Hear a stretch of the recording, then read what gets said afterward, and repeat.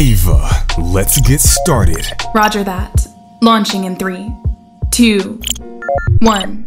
Uh, welcome back to the channel. I'm your host Mello signing in. And in today's episode, we're going to be reviewing episode 5 of Code Geass Roze. Now this review is going to be relatively short. There was a lot of action, but there wasn't much in the way of character development and plot progression. Now episode 5 picks up with our rebels trying to stop the Damocles from destroying a Japanese ghetto. There are two battles primarily being fought here, one in the sky with the Damocles and then one on the ground with Naravan of the Einberg. Now the ground units get pressed until reinforcements from the Seven Shining Stars show up. Naravan has a pretty epic battle with Ash Phoenix, while Roze and her forces break through the defenses of the Damocles in order for Haruka and her new Nightmare Frame to go up against one of the Einberg, and for Roze to use her Geass to take control of the Damocles. However, this does not work as armed guards show up and Roze has to retreat. Two FLEIJAs are launched and two FLEIJAs are stopped. Now the first one is stopped using the FLEIJA Eliminator by Ash Phoenix and the Apollo. Now the second FLEIJA is stopped through the combined efforts of Ash Phoenix and Roze.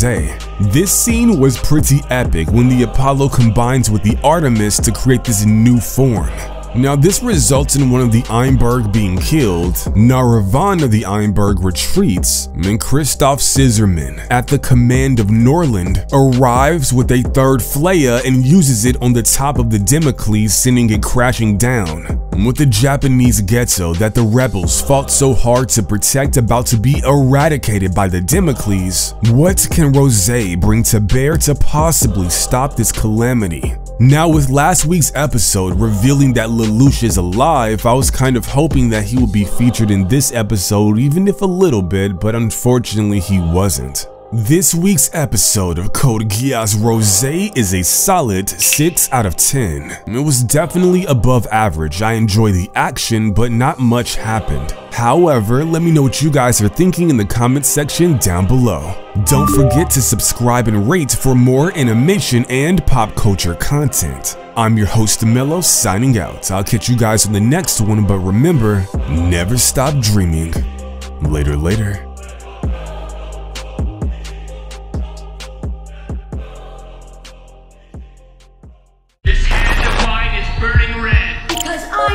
Greater than any of them. Vegeta, what does the scouter say about his power level? The next Hokage!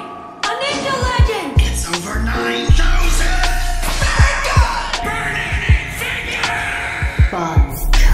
Ava, let's get started. Roger that.